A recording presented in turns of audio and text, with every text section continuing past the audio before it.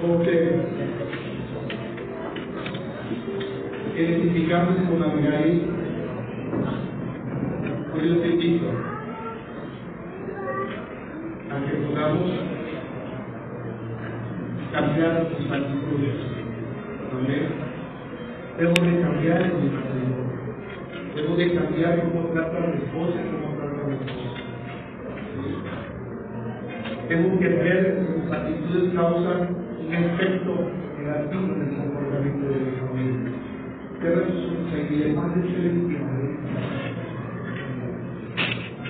A lo mejor no estás casado, a lo mejor eres soltero, o no tienes pareja. Pero dile al Señor, quita toda necesidad de mi vida, Dios. Porque muchas veces me has hablado y no he hecho eso. No he sentido tu Señor, me has mandado a que yo sea ordenado. Pero he sido necio, Dios. Sigo apartando el pecado, sigo viviendo el pecado, Dios. Muchas veces, Señor, me has hablado directamente a mí, pero no he entendido. Y dile, Señor, ayúdame a no ser necio. Quita toda necesidad de mi vida. Porque la ansiedad es un principio de rebelión.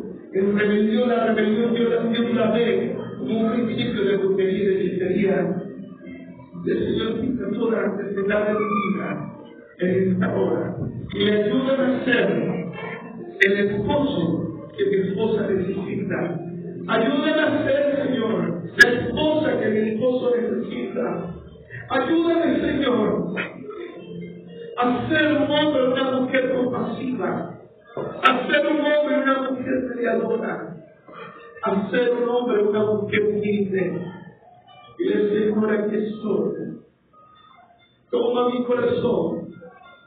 Ayúdame a ser un hombre y una mujer decidido o decidida, Dios.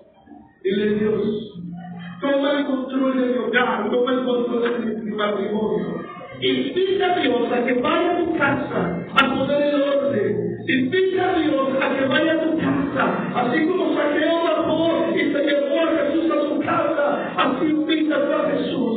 Everybody